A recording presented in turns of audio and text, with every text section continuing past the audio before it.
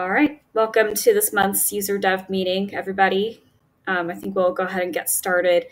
Um, so this month we'll be focusing on usability, and uh, I've the prompt this for this month uh, when I set out the invite was we'll have um, we added one of our usability topic our own usability topics to the agenda today, um, but I also asked uh, all the attendees to um, submit any problems uh, that you're dealing with and stuff. And uh, we'll use this session as a way to brainstorm some ideas around uh, what we can do to fix these problems and um, and also get more. Sometimes it's uh, if if you submit a, a, a tracker.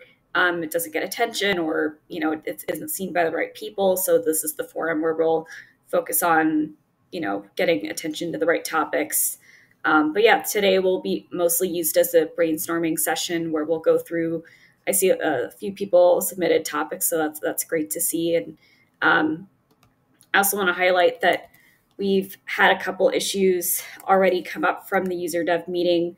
If you check this uh, link that I just sent, um, and two of the issues that are CephADM related, those were about um, usability uh, those were actually brought up in the surveys that we sent a while ago, um, where people reported some issues with CephADM usability, and um, both of those trackers were actually mentioned in the CephADM uh, CDS sessions that these will be planned uh, for a focus on the T release.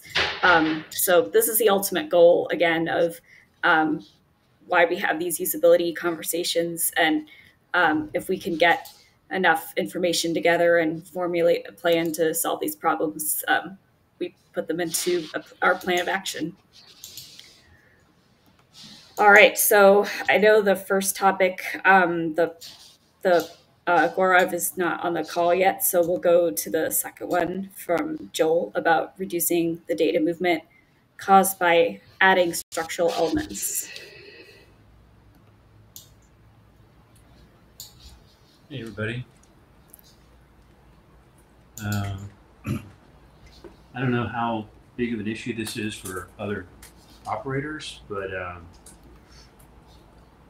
we've got a decent size production cluster. It's about 400 OSDs, so it's not giant, but there's enough data in there that data movement is something that I try to avoid primarily because I want to have plenty of cluster resource to deal with any potential component failures. So ideally, the data movement would be uh, cluster clients. So we're using just RGW, but ideally the traffic would be RGW reads and writes in and out of the cluster, plus any sort of component failure recovery activities obviously there's other kinds of traffic that needs to happen at sometimes, but um, adding on kind of administratively caused traffic is something that I try to minimize just to preserve resource. So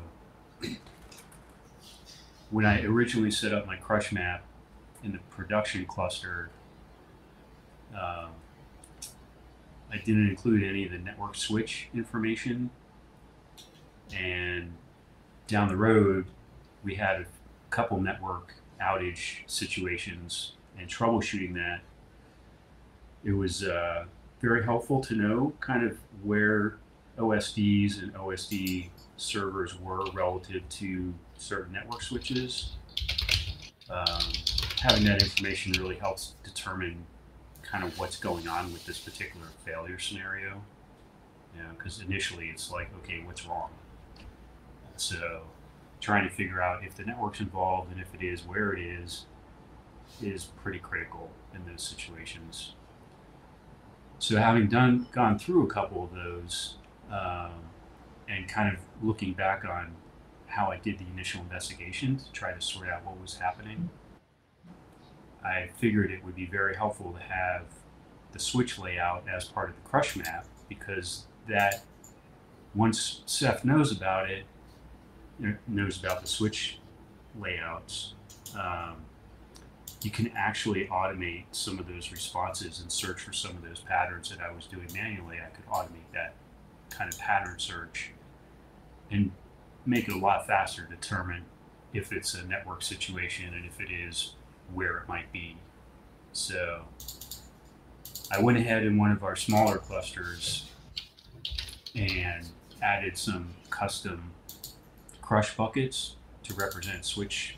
I added two, one for top of rack switch, just a standalone switch, and one for um, top of rack switch pair. So we have standalone top of rack switches in some of our dev environments. In our prod environments, they're all switch pairs with MLAG, so we have redundancies there. So that's why the two different type of uh, crush bucket for switches.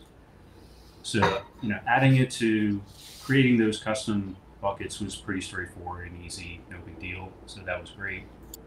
Um, adding them into the crush map and moving them around was also pretty straightforward and not not an issue really at all. The thing that happened though is what every, pretty much every time you move something in the crush map, Crush does a recalculation and starts moving data. So there may be a way to change a configuration. You know, so like the OSDs have a lot of flags. You know, you can do no outs on OSD, you can do no backfills, you can do no recovers, things like that. So there may be an option like that to just say, hey, just wait till I have all the new buckets where I want them and then just do one calculation um, and one movement. That might be an option. I'm just not sure. But I'm also wondering if there's a way to avoid data movement at all if I'm just adding something like the I don't know if this is technically feasible or not, so uh, we'll see. But adding kind of where the switches are in the crush structure doesn't really change anything. I mean, it adds information and it obviously changes the way the hierarchy is structured and the way that the internals work, right? Because now, as a crush bucket, it needs all the information that a crush bucket gets. So I'm not sure there's a way to actually avoid any data movement, uh, but if there's a way to minimize it, that would be great.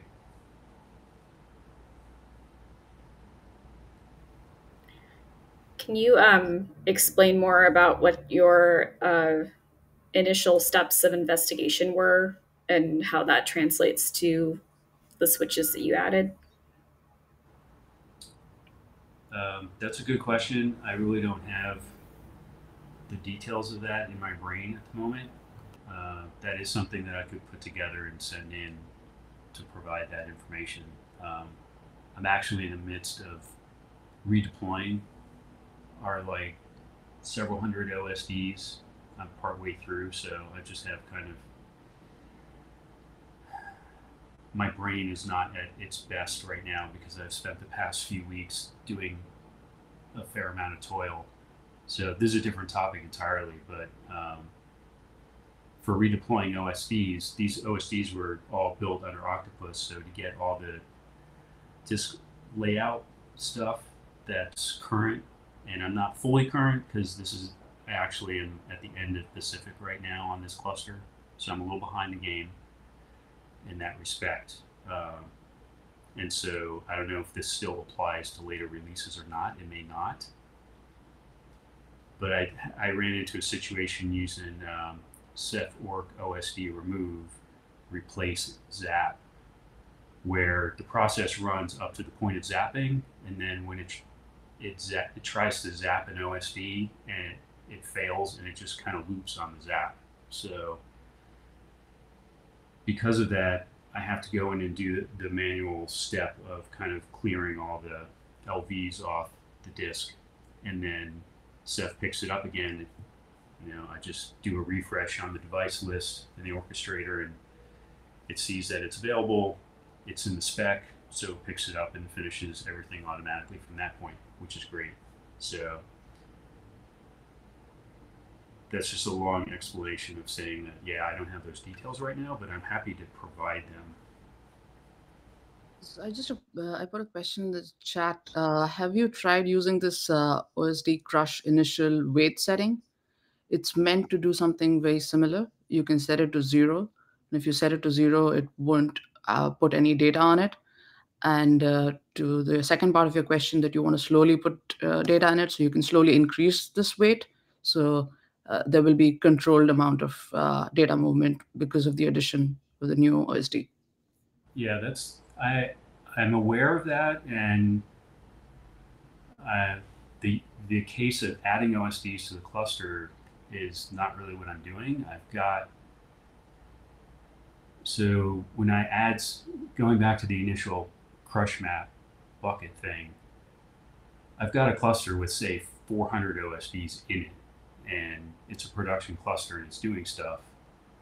And I'm not adding any OSDs or taking any OSDs away from the cluster. I'm not making any OSD changes at all to the cluster. I'm just adding basically a non kind of a non-functional layer to the crush map, which is, which is the switches. And my motivation for doing that is to represent those in the crush map so I can operate it on them autom automatically. You know, I can write a script basically to automate the investigation that I don't have the details on right now, but I'm happy to provide.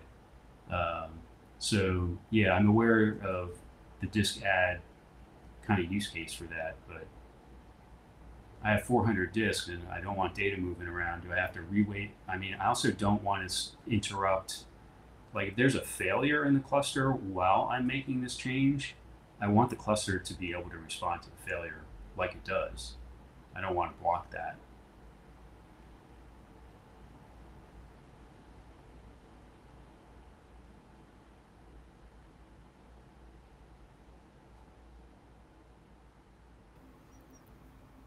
Yeah, understood. I think um, so. In, in, this case, I think it would be really helpful for us to know um, uh, if you were if you're able to walk us through um, a specific example of your cluster with you know um, this is the state it's in.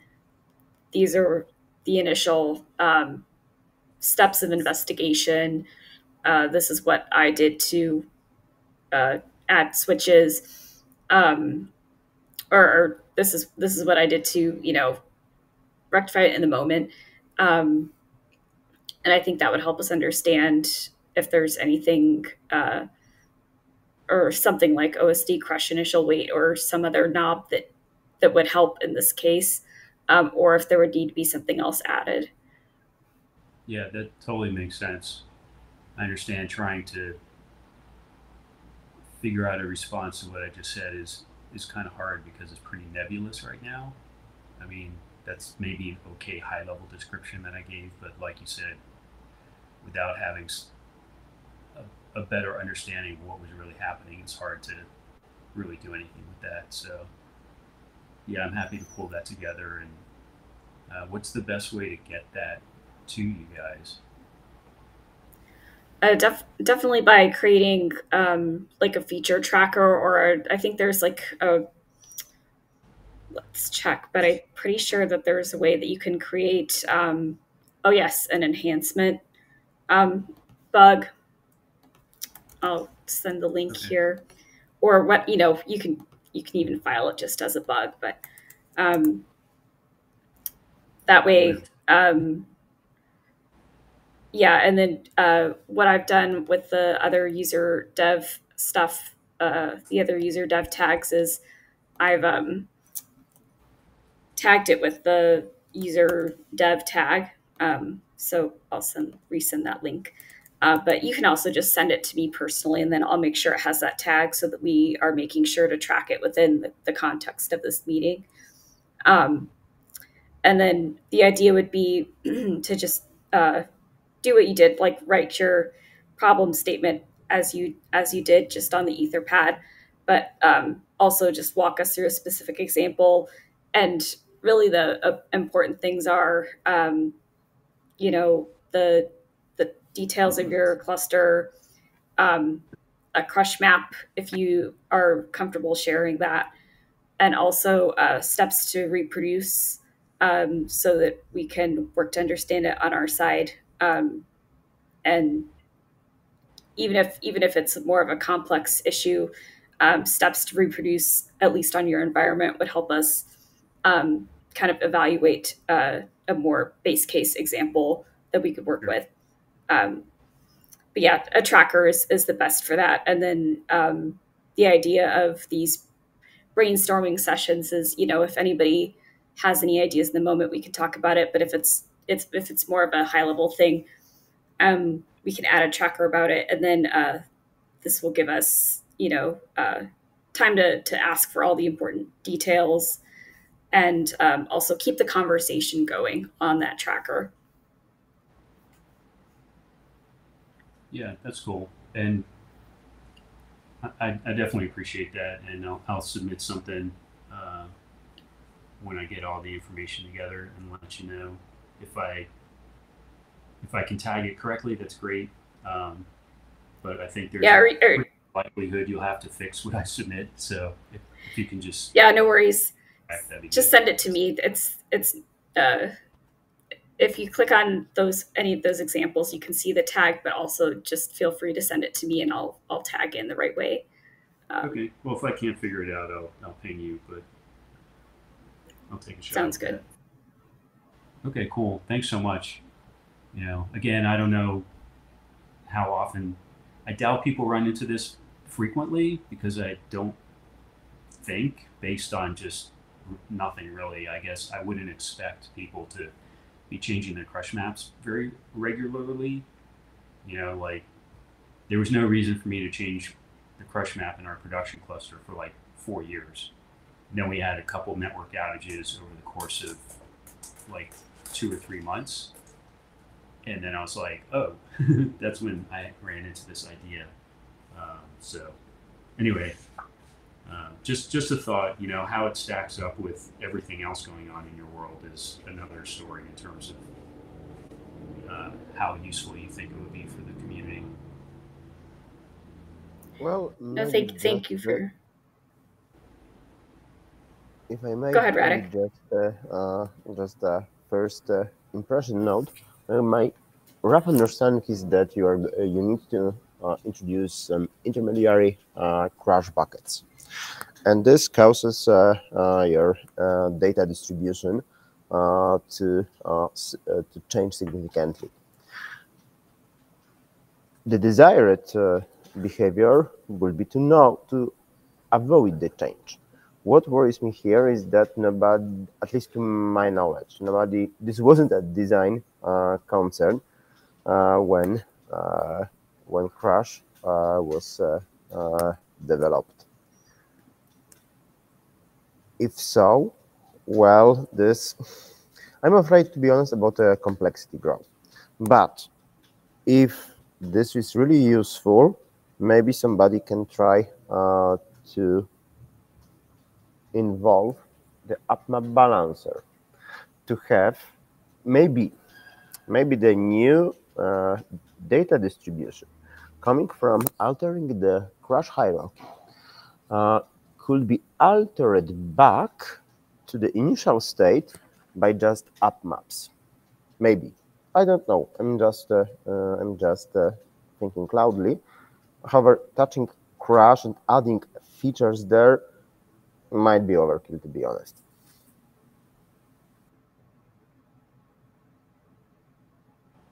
That, that makes sense. Yeah, I mean, this could potentially not be worth the the amount of effort it would take to to do. Time may be spent better doing other things. That's certainly a possibility. And Well- UpMap seems like it may be applicable. I mean, it's I haven't used that much. That's been on my to do list. I have a very long list of things I want to try with Ceph, and I just unfortunately am too busy to get to a lot of the trying, but UpMap seems like it might be a candidate for sure.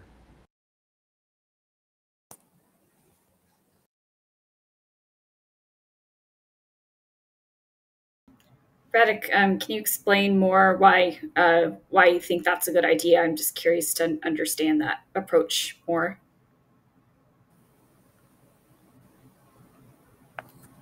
there, if uh, okay, UpMap uh, uh, was supposed uh, to overwrite uh, uh, the placement coming from Crush,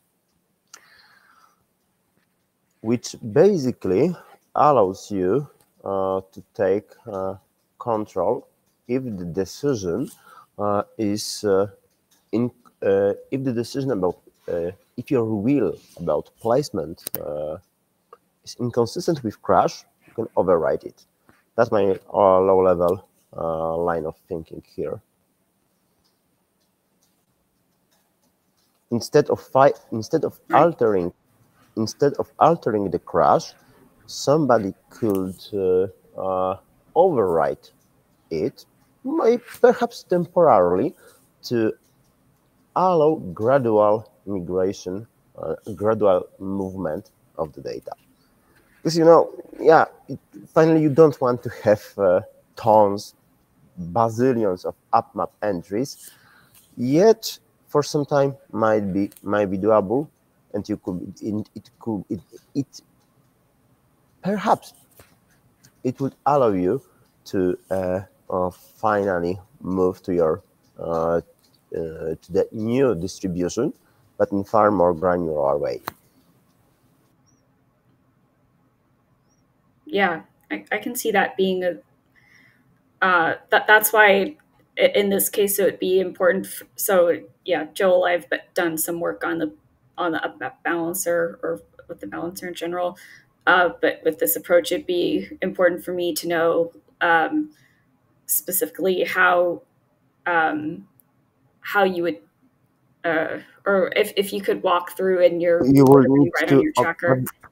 Okay, now we UpMap, the, Up, the balancer is actually user of UpMap entries. And UpMap uh, balancer tries to find, uh, uh, tries to compose set of entries to achieve particular goal. This goal right now is very equal distribution, but it's matter of altering the goal. Maybe you could set, instead of perfect distribution, maybe you could say exactly like the previous one, exactly like this particular one I had in the past.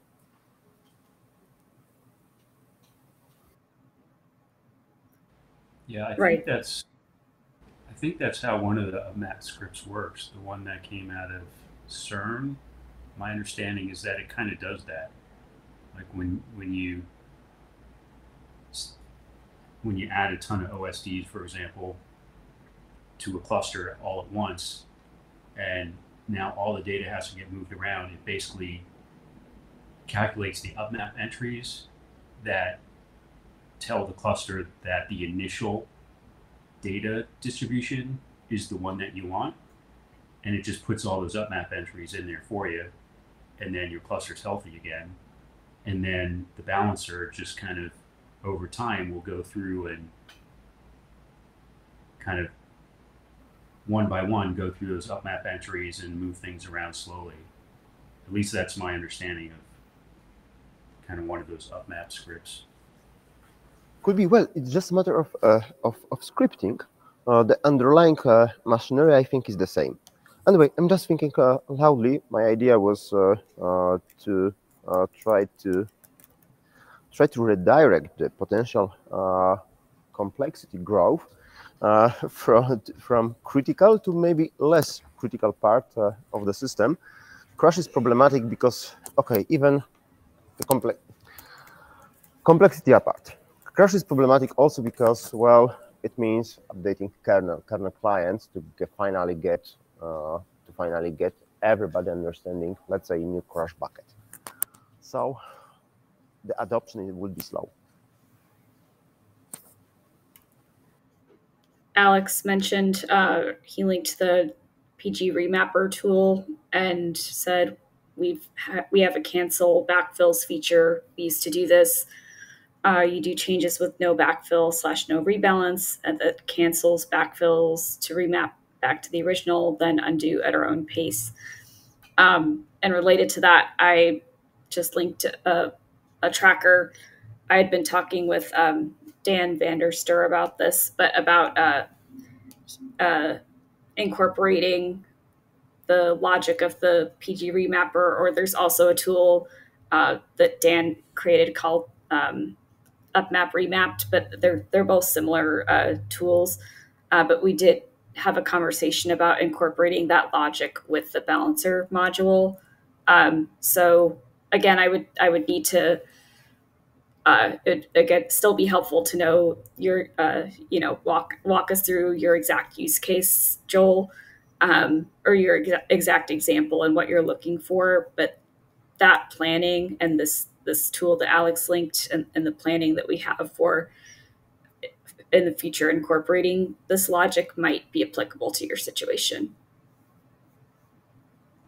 Yeah, that makes sense. That's probably the way to go. Actually, it seems like can probably make use of some of these other remapper scripts that are out there already, at least for the short term. So, you know, I definitely don't want to cause you guys to do any additional work that's unnecessary, knowing that you've got tons on your plate. So,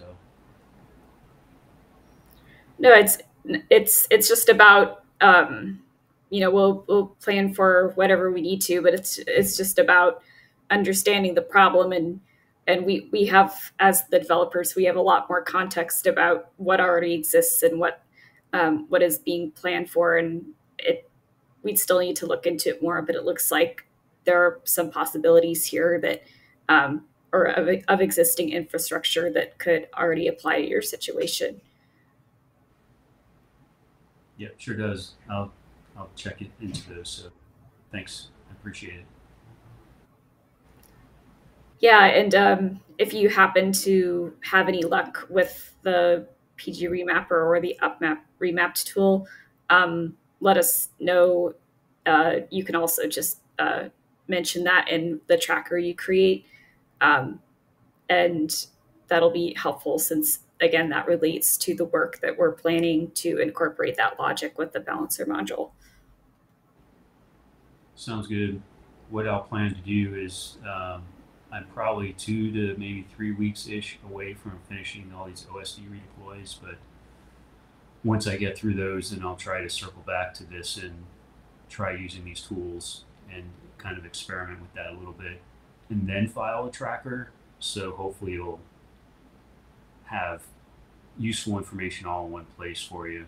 I just don't want to file like half a tracker now and then have to update it later. And I'd rather just Yeah, makes one sense. artifact in that's ready for you to look at when it arrives. Perfect. Sounds like a plan. Awesome. Thank you. Any more comments or uh, from from the community or from fr- from users or from developers about this topic?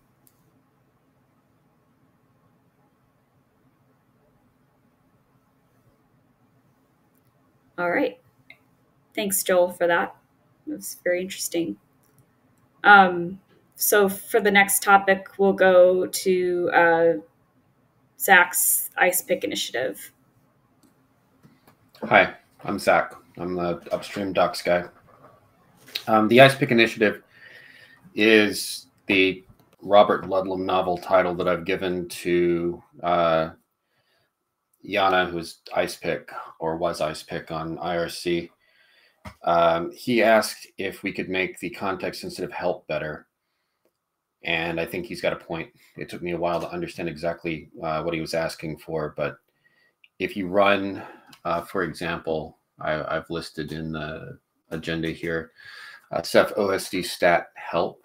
Uh, the output that you get is the upshot is it's really long, and the only stuff that is uh, immediately pertinent to somebody who's looking for information about Ceph OS, uh, OSD stat is um, in the monitor commands at the bottom. And so I would like to suppress the rest of it and just present um, the material that is immediately relevant to the command. Maybe add some examples, but that's a longer term goal. Um, my guiding star on this, the template that I will be using or that I have decided to use is the man page for the um, Ceph find command, which is really good and has a lot of uh, use, usage examples, which is I think what people are mostly looking for when they they look for online help. They're not looking for reference material. They're looking for uh, like jogging their memory or basic list of uh, commands that apply. Um, now, uh, I will need to learn more about argparse. I've spoken to Ernesto Puerta about this, and I think he's on leave. I don't know if he's back this week or not. But uh, when Ernesto is back, I will make a um, a plan with him to learn the things about argparse I need to know in order to start making these alterations. And um, I had rather naively initially thought, well, I'll get the ice pick initiative done by time for the next Cephalocon, because at the last Cephalocon, uh, I, had, I had mentioned it. And so I, I have a list of uh, the 10 most common, uh, uh 10 very popular, maybe I should say, I, I, can't guarantee that the 10 most popular commands, but 10 very common commands that are used Ceph, Ceph orch, Ceph OSD, Ceph FS, uh, Ceph PG, Rados GW admin, Ceph ADM, RBD, Rados, and Ceph volume. Each of those has a number of subcommands. And so I had naively thought, well, I'll do a set of these and then that'll be the ice pick initiative. Uh, I now, after having surveyed the territory a little bit more thoroughly, I realize no, the Ice Pick Initiative will be an actual initiative that just continues from now until the end of time, or you know, however long I survive, and it'll be just like keeping the English grammar of the documentation up to date. As I as I am able to do uh, this command or that command, it'll just become a part of my day to day life. Um, so anybody who has any specific complaints about uh, this command or that command's online help output, uh, lay it on me uh, now and forever. That's it. That's all I wanted to, uh, to say. I think this will probably help the usability to some degree, so I put it in the in the agenda. I know that it, I didn't clear it with you, Laura, before I said anything about it, but I'm I'm announcing this now. Yeah, it's it's really bad that you put that in there. Honestly. yeah, I, I did it to um, hurt us all. Totally. Um, no, it's I I asked for the community to put problems in here, so this is really nice to see. And um, so it looks like this is just one example of what you're hoping to improve, right? This uh, OSD stat help. Yeah, this is the pilot. Here. This is the pilot example. Uh, when we crack the argparse nut, then I will. I I have a. This is no kidding. I have a, a vstart cluster that's in an Intel NUC uh, laptop in the other room, and I have a handwritten list.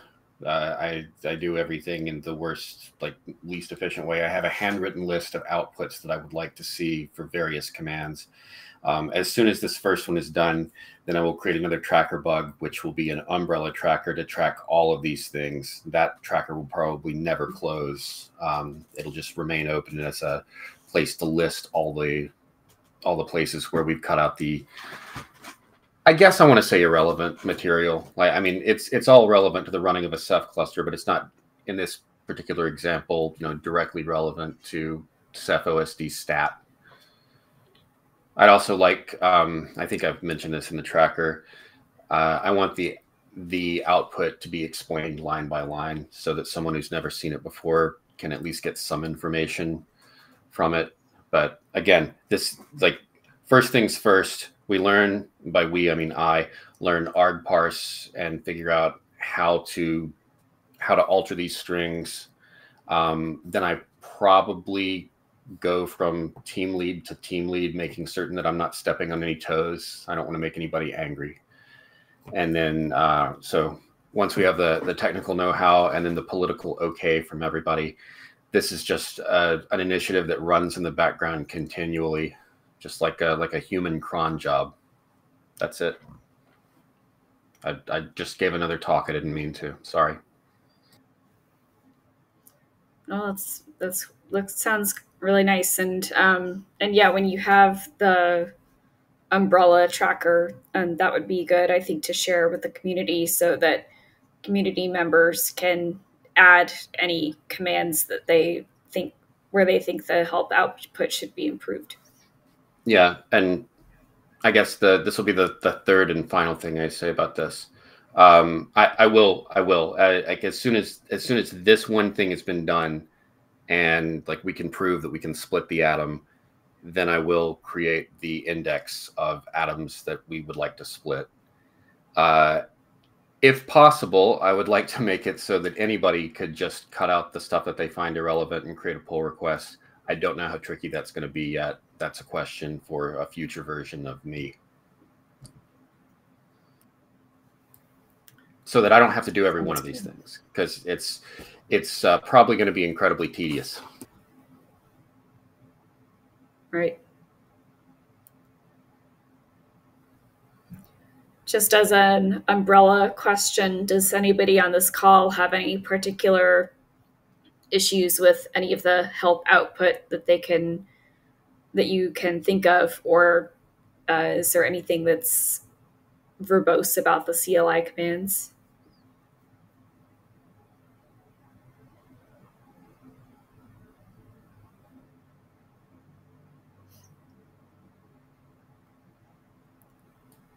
I'm going to take that as maybe a that'll no. no.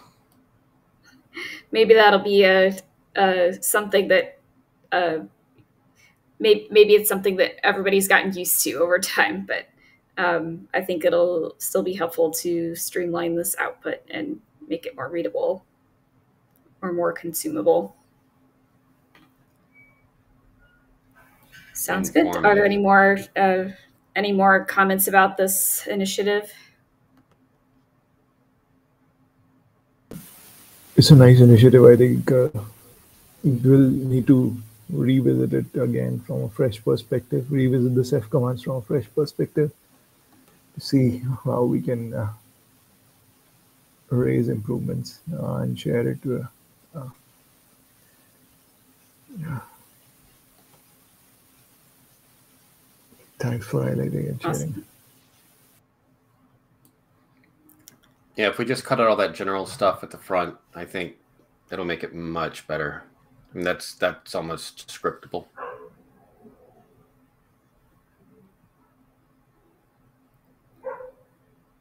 Great. All right, I think we can go to the third topic on the agenda from Gaurav about Ceph dashboard usability improvements. Hi everyone, I'm Gaurav, um, part of the Ceph Ambassadors program. Um, we brought this up in um, uh, a short, I think, discussed this a bit in the ten, uh, developer summit in Tentacle, but I'll just share uh, some of the light again on this. That I mean, in the dashboard, um, from a user perspective, uh, I'm proposing that uh, let's, um, I mean, if a user who opens a dashboard, opens a Ceph dashboard and wants to understand from a fresh perspective, from an application perspective, uh, without understanding the internals of Ceph, and they want to understand the usage. For example, um, if they uh, if the application is RBD and they, they are from application side, uh, they are only consuming 50 gigs. Where I mean, it's, if it's a um, three, let's say taking replication fa factor into account, we have three OSDs in the cluster. So it's a overall total capacity of the cluster will be uh, 300 gigs, but the usable capacity will only be 100. And from an application perspective, the user will be concerned about how, how much they have used uh, at a high level. So having an application overview of that dashboard can it can be really great. Um, if I can share my screen, I've prepared some diagrams, um, one or two diagrams that I can uh, share. Is that okay, Laura?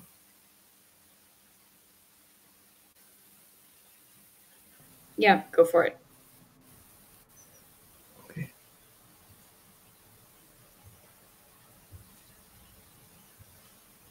Please let me know if my screen is visible I think, yep, this is a diagram. Okay, I need to rotate this. Um, I see a black screen. Oh. Me too. I'll stop and start again.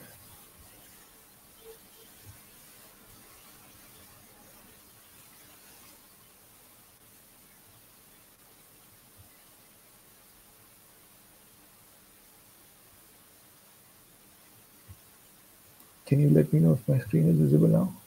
Yes. Uh, are you able to see the diagrams here? Yes, it is 90 degrees, but yes, Okay. it is readable, legible. I'll rotate this a bit. So let's say uh, we want to have an application overview from RBD perspective. I mean, we have three types of applications, right? Block, object, and file. Once we click, we have we. What I'm proposing is, on a high level, we want to have three panels for each type of application, and we can dive into detail, and then for the, so the uh, dive into the application overview and see how much that application is consumed. But the I think one of the problems that we, I found out that we are having is that um, the same application name can be used for multiple pools, and I think taking into various vari- uh, factors into account, which are variations on the basis of replicas and EC profiles, and definitely the type of tiering as well. So what I propose, one of the ideas that we should have a unique application uh, associated with the pool that can help in uh, getting this application overview in a much more easier way. I that's something.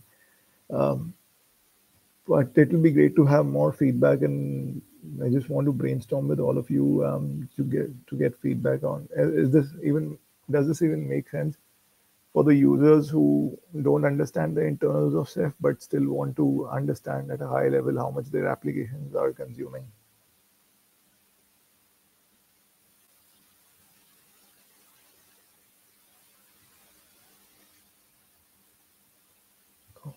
The other diagram I have, yeah, but I think the major diagram is this one that, uh, yeah, but it'll be great to have everyone's thoughts and feedback. Um, Any comments about this?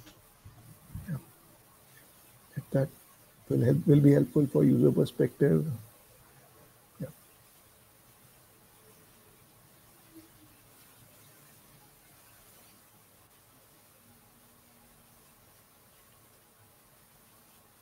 Maybe uh, an example would, uh, can you explain kind of, or walk us through your diagram again? Because I'm, I think I need a, uh, another explanation.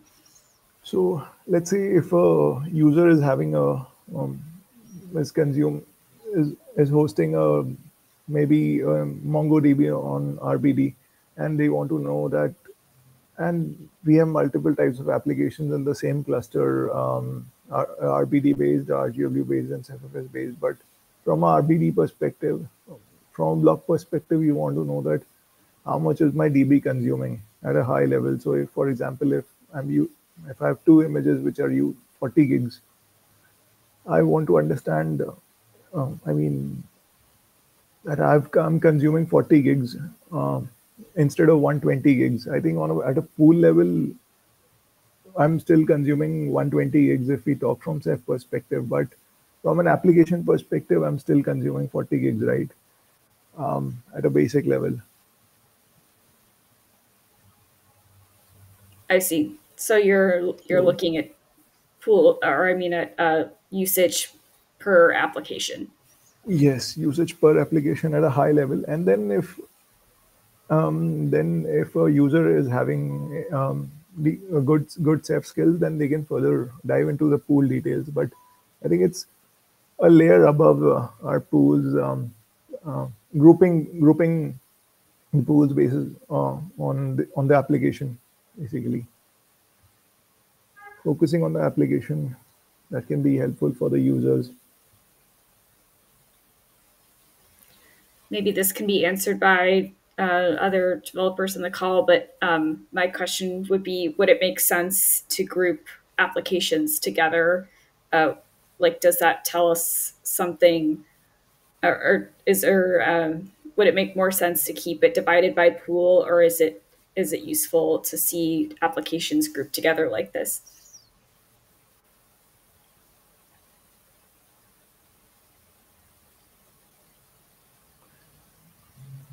The, the reasoning behind that is that, I mean, we'll have an overview from an application perspective. Um, we can just, from, from a user perspective, it'll be easier to go into RBD and then look at their RBD based workload uh, or in usage based on their application, then they can go into RGW and it could be much more cleaner overview from their application perspective.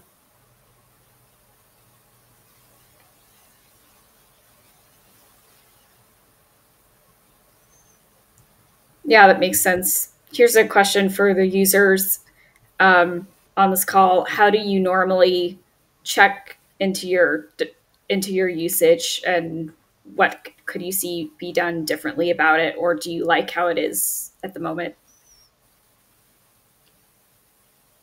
and this is specifically about dashboard so i guess the dashboard users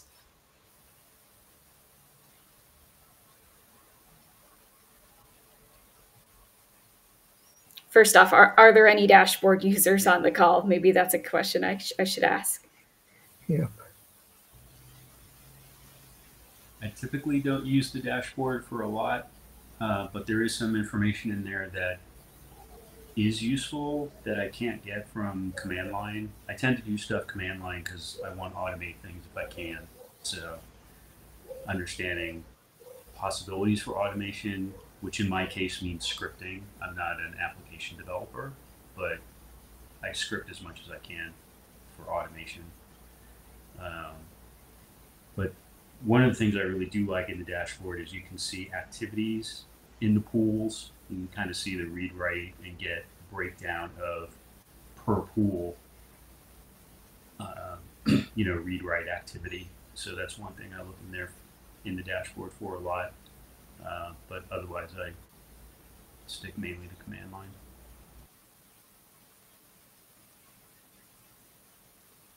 I see.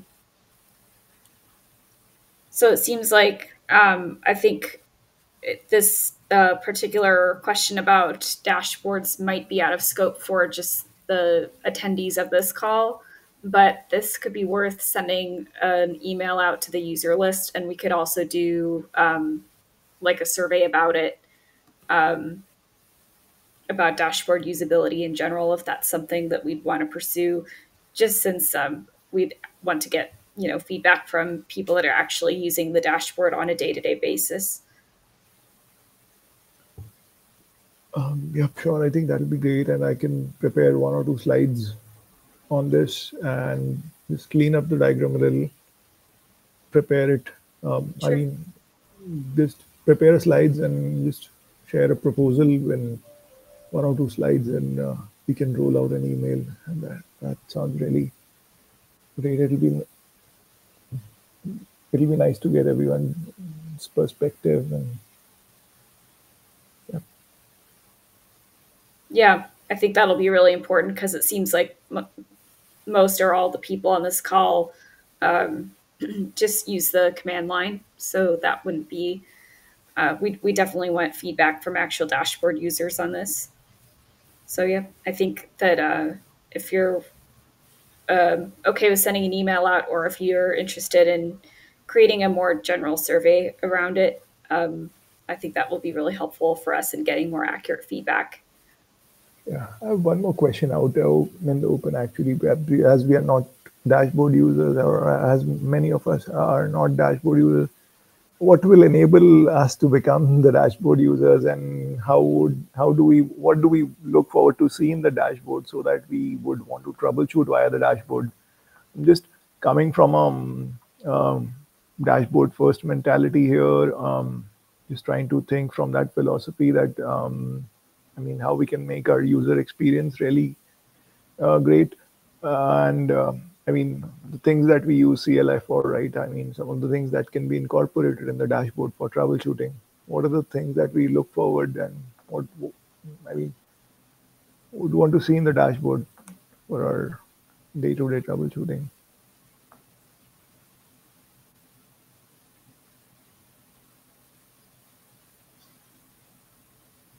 Yeah, so if anybody is wants to to um, answer that, like just in a in a general, um, if you're a CLI user, why do you prefer do you prefer the CLI first of all, and if so, um, why is that over using the dashboard, and what what can can be done to change that?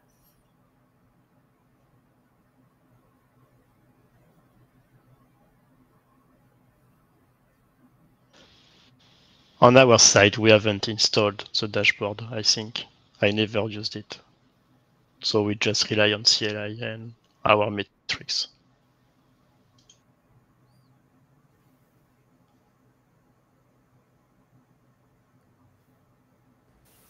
Yeah, in my case, there may be things in the dashboard that I just haven't discovered yet. Um, I've gone through it a, a few times just looking around, and I've, like I said, found the IO by pool, which is really helpful. Um, but again, I'm, I really want to try to understand more. My focus is not so much my own user experience or even kind of ease of use, really. It's my main focus is understanding how Ceph behaves and being able to predict how the cluster will behave under certain circumstances so that I can hopefully set things up to avoid problems down the road.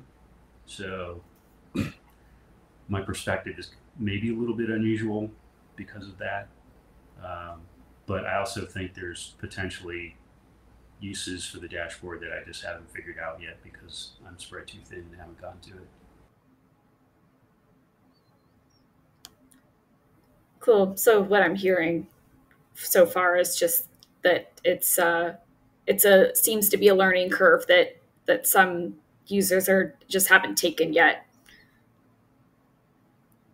I've heard some feedback before too about scalability, but I'm not hearing that on this call specifically. Um, but I know that's been something that's been brought up in the past. Um, yeah, if uh, um, that might be Gaurav, that might be something that would be uh, interesting for us to do. Also, a survey about um, dashboard usability and what we can do to, you know, um, have more people adopt it. Uh, but it sounds like so far that it, it's just hasn't been uh, necessary or, or people aren't aware of certain features that the dashboard offers. So we could also take up an approach of doing more uh, live demos about how to use the dashboard and what what features are available because there are a lot of differences uh, between the dashboard and relying solely on the CLI. There are a lot of cool things that you can do with the dashboard. So perhaps we need to just do more publicity around that kind of stuff. Yeah, and I'm thinking around user stories and uh, uh, blog posts as well around that. Um, just um, because recently I was going through um, a set of user stories. Uh, I think uh, what I found out was that the uh, last user story which which we had was a while ago, and uh, it would be great to have uh, those. I think in general, but also from dashboard perspective, um, so that I think we can. Uh, um, I mean the Ceph community can be educated, uh, the Ceph community members can edu be educated from issues perspective to find out that if you're facing an issue, how dashboard can be used to troubleshoot things faster and how we can um, improve the usability to make troubleshooting easier. I think that's something that I also look forward to. Uh, uh, I mean, sharing more ideas and if there are any trackers, I'll definitely open. Um, while discussing with the dashboard team. I think it'll be great to have suggestions in, in those areas where we would want to see our dashboard. Yeah, and I would just add another reason I haven't done a lot of dashboard stuff. I mentioned earlier that uh, we're running the, the probably last version of Pacific, so I'm way behind the curve in terms of the development on a lot of these things. So the dashboard I'm looking at is like some historical thing at this point, right? Um, once I get caught up, then uh, it's probably more useful for me to see what's there and participate in feedback about it because I'm sure there's been a lot of improvements and changes that I just haven't seen yet. Yep, I was testing the Squid RC one, and the dashboard is really nice. I think there's some um, a great improvements that have been uh, there, but I think there's um, a lot more can be improved as well. This might be one thing we could do at Cephalocon as well in terms of like the latest. I know there's a new landing page, etc. That probably some folks have uh, not seen yet. So uh, maybe like do some pop-up sessions and things uh, so that folks who are running an older version can just you know get a feel of new things. Yep, I think that'll be great. That'd be cool. Yep.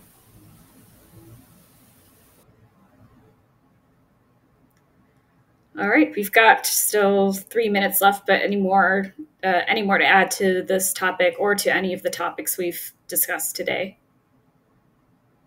or something new?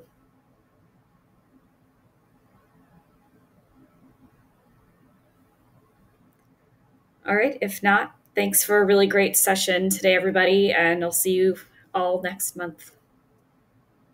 Thank you, Laura. Yep. Thank you. Thanks. Bye.